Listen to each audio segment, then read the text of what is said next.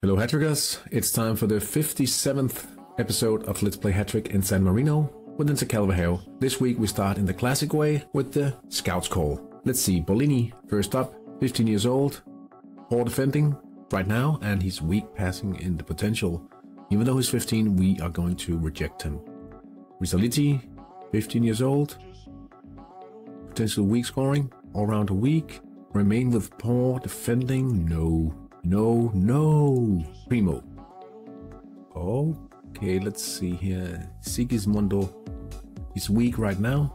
Could emerge with passable passing. 15 years old. We'll give him a shot. And I guess we'll try him in a wing slot very soon uh, when we get the chance. All right, let's move on to the youth match this week. We did actually play a friendly and a league match, but the most important thing is to look at the performance of uh, Maletti in the here. Five stars, seven stars mozzarella, and um, starting to look pretty decent, I'd say. Um, Meletti, if we look at him and his player page, he is on course to pop to uh, triple inadequate status, but he won't reach much more than that because we are edging ever so close to his promotion in 29 days just. Also, we will be promoting Mozzarella in just 19 days now. Exciting times. In the midweek friendly against the team in Denmark, we did get extra time. We avoided major injuries, a bit of minor injuries, and injuries to the non-crucial players in the training plan. So still satisfied to see us going without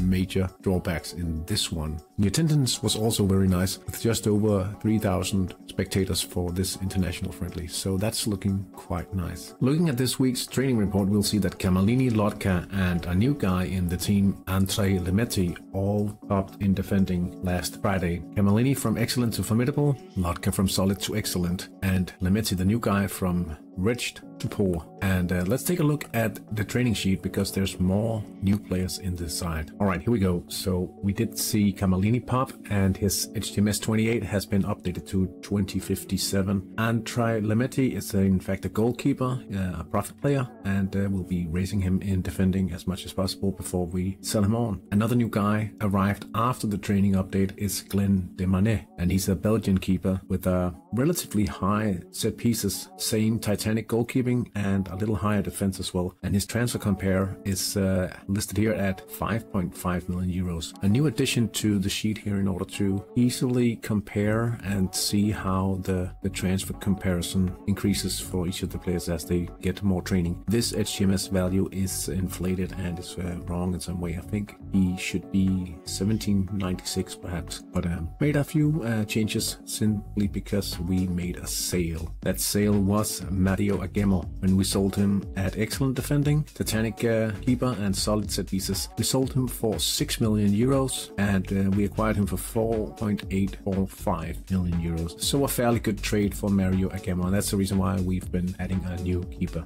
We did also play a league match against Tamazzo, another bot team in the series, and we won without problems, 4 goals to nothing, no trouble with any injuries or anything during the match. A decent job. We're just getting ready for the final match against the unknowns in the final round of the season. In the next match, we'll be playing AS Fiorentino, the bottom bot side of the league. We managed to clinch the third place and we will most likely finish here because it will be impossible to overtake Berlin United. They'd have to lose against the bot team in the next round for that to happen. So finishing third as we've been expecting for most of the season already. That's all for this uh, week's episode. Thank you so much for watching. Thank you for the continued support. I hope you guys have a great week in Hattrick. See you guys soon.